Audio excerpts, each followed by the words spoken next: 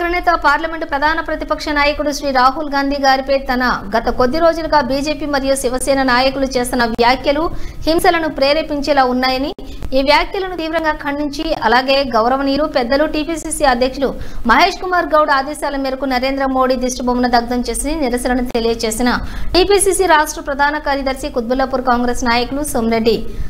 సొంటిరెడ్డి పున్నారెడ్డి ఈ కార్యక్రమంలోని సీనియర్ కాంగ్రెస్ నాయకులు రషీద్ బేగ్ రషీద్ భాయ్ కృష్ణ గౌడ్ లాల్ మహమ్మద్ మరియు కాంగ్రెస్ నాయకులు కార్యకర్తలు పాల్గొన్నారు. ఏదైతే రాహుల్ గాంధీ గారిని ఢిల్లీ మాజీ శాసనసభ్యులు బీజేపీ నాయకులు బెదిరించే ప్రయత్నం చేస్తున్నారు.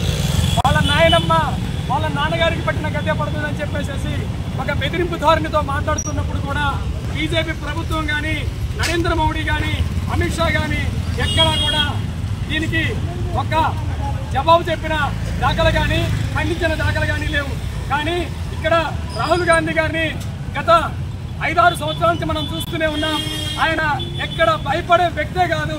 అది భయపడేటట్టుంటే ఖచ్చితంగా రాహుల్ గాంధీ గారు జోరు భారత జోడో యాత్ర చేసి ఉండేవాళ్ళే కాదు. భారత జోడో యాత్రలో ఇంటికి పోయిన దాఖలే లేవు. దాదాపుగా నూట యాభై రోజులు భారత జోడో కంటిన్యూ చేసి జనాల్లోనే ఉండటం జరిగింది. కానీ ఖబర్దార్ ఏదైతే బీజేపీ నాయకులకు కానీ బీజేపీ ప్రభుత్వానికి కానీ మేమందరం హెచ్చరిస్తున్నాం.